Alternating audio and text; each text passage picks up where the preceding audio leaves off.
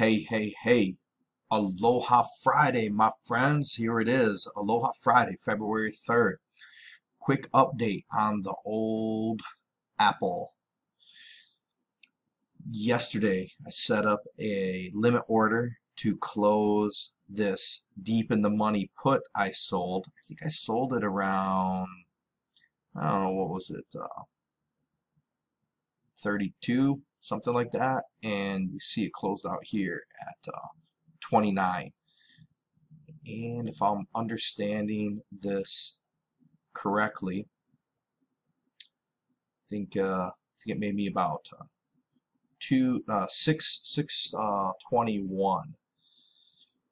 We have some losses over here that I believe are reflecting, boom, right here. Now this originally started out as a naked call at the 150 strike price, but back here on January 31st, I covered this position with 100 shares, right? Concerned that maybe Apple was going to go over 150.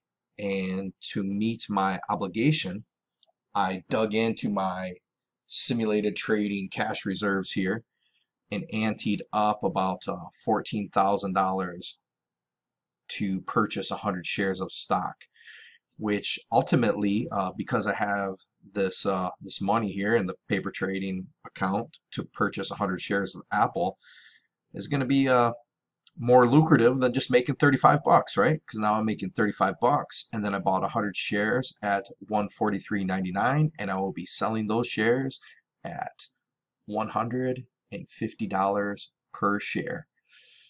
Uh, so what's the moral to the story? Hey, if you don't have $100,000 in your trading account, then figure out some stocks that are in your price range that if you're going to be selling naked call options, uh, you could potentially cover that position and turn it into um, a covered call.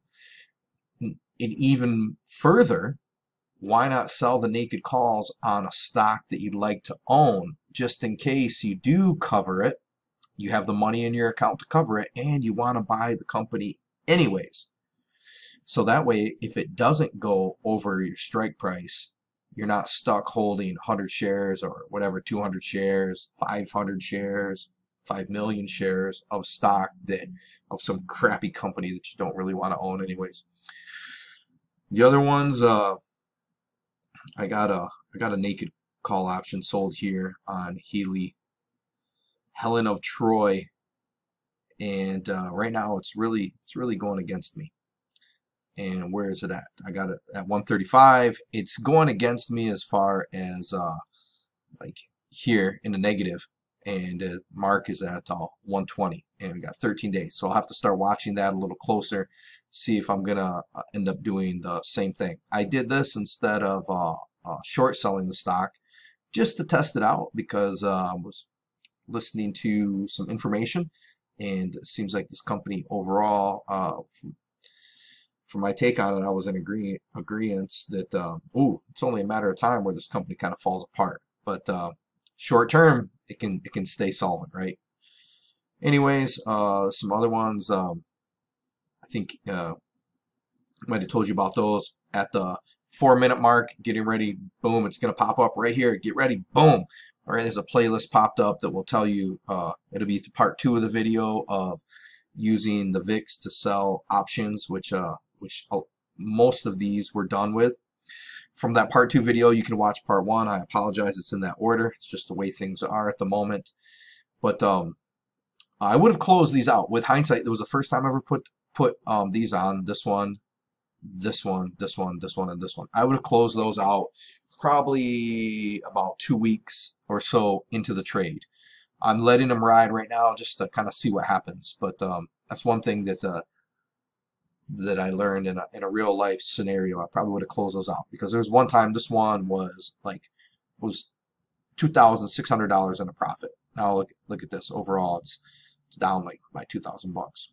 So most of them are are down, but that's that's how you learn, right? That's why you paper trade. You learn these these different things because uh, You know, these people making YouTube videos like how I made blah blah blah, doing blah blah blah in only this blah blah blah short amount of time. All right, that's great for getting YouTube clicks. It really is. It's some great clickbait, isn't it? It's a different story when you got to take that money that you've been working whatever 40, 60, 70 hours a week for and uh, it's either going to be traded off to another trader, right? Because if this goes sour, you, you like that? You like giving away $2,000? You thought you were going to get rich and stop working on one trade and giving away $2,000? How's that sit? So uh, don't be don't be fooled by those by those uh, those yahoos. a lot of those a lot of those peoples. Unless you're gonna um, pay a CPA to do a uh, personal financial audit of them and you want it verified by the CPA, just because someone's flapping their lips and hot air is coming out and they know how to edit videos very well doesn't mean they know how to trade, no matter how confident they may seem. With that, you guys have a fantastic night. I will talk to you later.